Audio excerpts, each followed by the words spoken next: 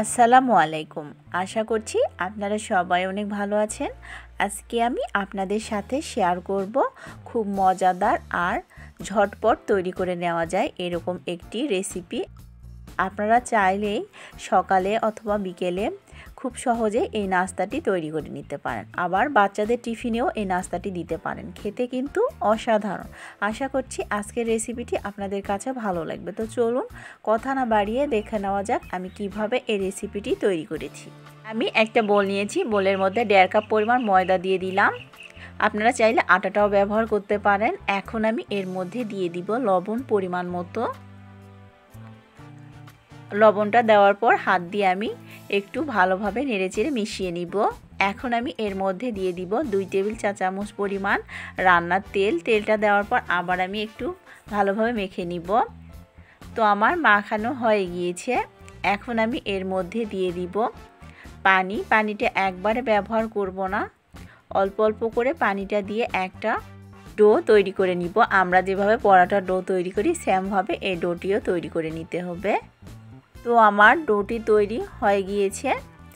এখন আমি 10 মিনিটের জন্য রেস্টে রেখে দিব আর এখন আমি এই নাস্তাটি তৈরি করার জন্য পুরটা তৈরি করে নিব। এখানে আমি চুলায় প্যান বসিয়ে দিয়েছি আর তার মধ্যে দুই টেবিল চা চামচ পরিমাণ পেঁয়াজ কুচি দিয়ে দিলাম। পেঁয়াজটাকে একটু ভালোভাবে করে ভেজে নিতে হবে।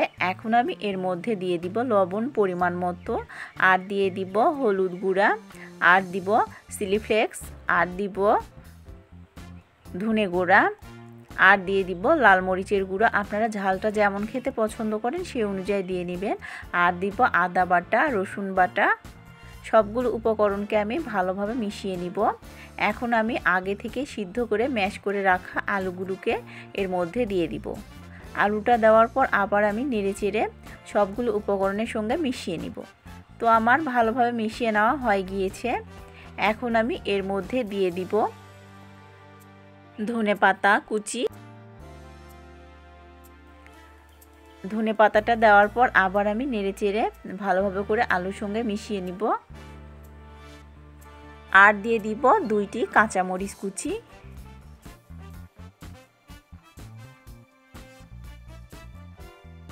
তো আমার পুরটি তৈরি হয়ে গিয়েছে। এখন আমি চুলা থেকে নামিয়ে পুরটাকে ঠান্ডা করে নিব।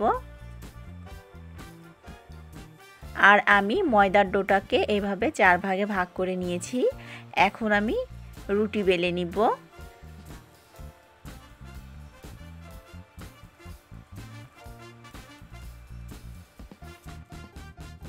আমি এভাবে করে দুইটি রুটি বেলে নিব। তো আমার রুটিটি বেলে নেওয়া হয়ে গিয়েছে। এখন আমি এর উপর দিয়ে দিব টমেটো সস। এখন আমি একটা চামিচের সাহায্যে এভাবে করে চারপাশে মিশিয়ে নিব। টমেটোর সসটাকে ভালোভাবে এই রুটিটার সঙ্গে মিশিয়ে নিতে হবে। তো আমার মিশিয়ে নেওয়া হয়ে গিয়েছে। এখন আমি এর মধ্যে পুরটাকে এভাবে করে দিয়ে দিব। চামিচের সাহায্যে ভালোভাবে করে সেট করে নিব। চারপাশে চেপে চেপে লেগে দিব। আপনারা দেখে নিশ্চয়ই বুঝতে পাচ্ছেন আমি কীভাবে পুরটাকে দিয়ে দিচ্ছি। আমার পুরটাকে ভালোভাবে দেওয়া হয়ে গিয়েছে। এখন আমি এর উপরে আরেকটি রুটি এভাবে করে দিয়ে দিব, দিয়ে চারপাশে চেপে চেপে দিব। এখন আমি একটা কাটা চামিচের সাহায্যে চারপাশে ডিজাইন করে নিব।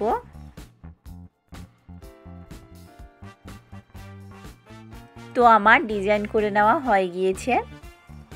এখন এটাকে ভাজার পালা। চুলায় প্যান বসিয়ে দিয়েছি, আর তার মধ্যে দুই টেবিল চা চামচ পরিমাণ তেল দিয়েছি। তেলটাও গরম হয়ে গিয়েছে। এখন আমি এই নাস্তাটাকে উল্টিয়ে পাল্টিয়ে ভালোভাবে করে ভেজে নিব। এখন আমি নাস্তাটাকে উল্টিয়ে দিব।